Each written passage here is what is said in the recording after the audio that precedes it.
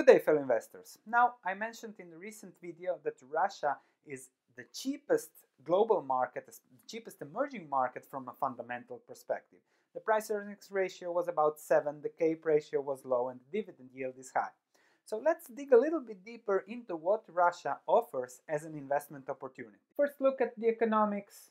We can see that Russian GDP growth with higher oil prices, with higher commodity prices is benefiting and we see huge growth, much better than it was the case two years ago. Also, what's very important, even if Russia doubled its debt to GDP ratio in the last 10 years, it is still just 17%. So it doesn't create a great burden on Russia's future growth. However, there are always risks with Russia, and that's very important to notify. Political risk.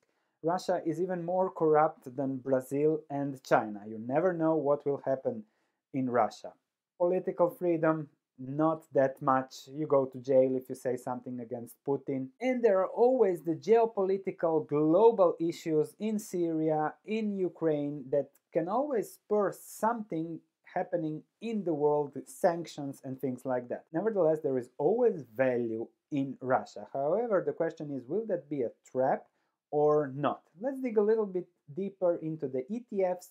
How did Russian stocks move and into a bit singular stocks by looking at Sberbank. So the Russian ETF ERUS since inception is still below its starting price in 2010.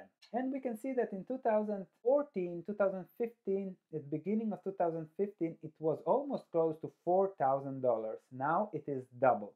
So those who invested in the worst period in Russia have now already made 100% on their investment. So that's the problem with emerging markets. You have to expect huge volatility and you never know where will the bottom be and on the upside you never know how much it's going to go higher.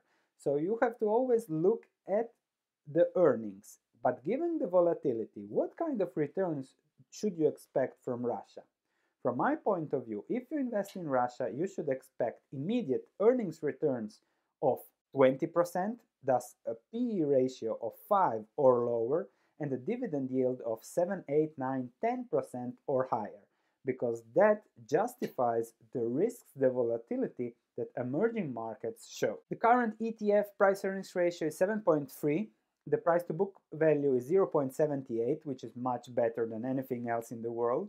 However, the dividend is just 3%. Now, Still, Russia, low debt to GDP growth is a good investment, but it isn't anymore a great investment like it was a year, two years ago when the ETF was at 4,000. Now we are at 8,000. And as risk is the function of the price you're paying for something, then the higher the price, the higher is the risk. Remember that. Let's look a little bit at Sberbank.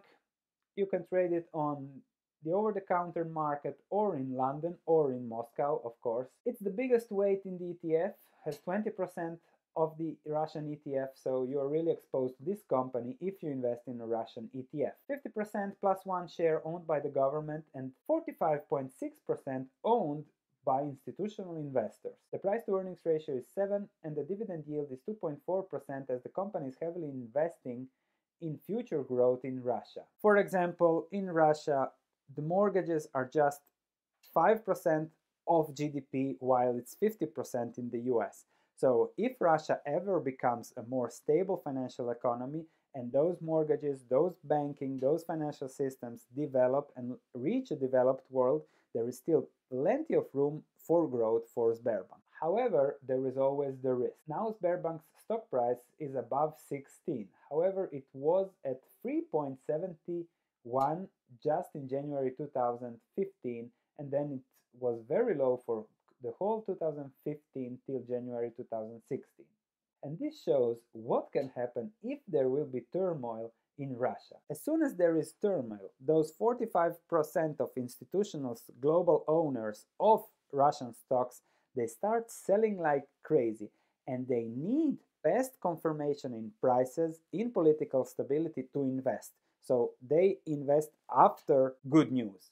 If you really want to take advantage of situations in emerging markets, you have to invest when there is a lot of bad news and when there is the probability of more good news coming than bad news. It is volatile, you have to invest in stages, But investing now in Russia or Sberbank carries much more risk than investing a year or two years ago, even if the bad news were terrible then and the news are good now. Gazprom just announced a 100% increase in earnings for this quarter, which is good news, more liquidity, more money. However, that's always the question do you want to invest after good news at higher prices or after bad news but at much, much lower prices?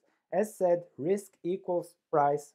The higher you pay, the higher is the risk. Just to look at the ETF a lot of energy, financials, Sberbank 20%, just one telecommunication company. So the ETF really depends on oil prices and gas prices, and in this case, a little bit on nickel and copper prices for Norilsk. So personally, I find Russia a good investment, but with emerging markets, I prefer amazing investment, where what I can lose is limited, but my upside is very, very big.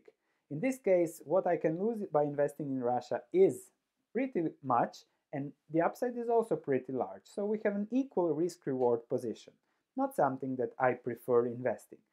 However, there are always individual companies in Russia that have lower price to earnings ratio, good dividend yields, and exposed to things that are not related to Russia, but cheap because those are in Russia, right? Like Norilsk. So check out my Norilsk video to check how that fits your portfolio. I'll be looking more at Russia if somebody has some ideas that are traded on the London Stock Exchange or over the counter in the US. Please share with us, explain what is why and what's the rationale so that if interested, I can look deeper into it and then make a video and share it around the world to see perhaps maybe there will be more interest as the situation is getting better in Russia and the trend is still strong. So if you want to invest in the trend then I would take advantage of the trend.